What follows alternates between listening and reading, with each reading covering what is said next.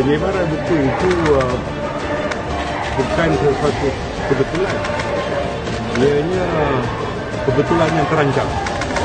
Buku itu yang telah tersebar bukan hanya di sekolah tetapi kalau mahu menjadikannya sebagai bahan rujukan ianya telah menjadi uh, satu bahan untuk diketahukan mempromosikan ideologi sosialisme komunisme. Jadi kita tahu negara China adalah negara komunis. Tetapi buku ini mempromosikan ideologi komunisme.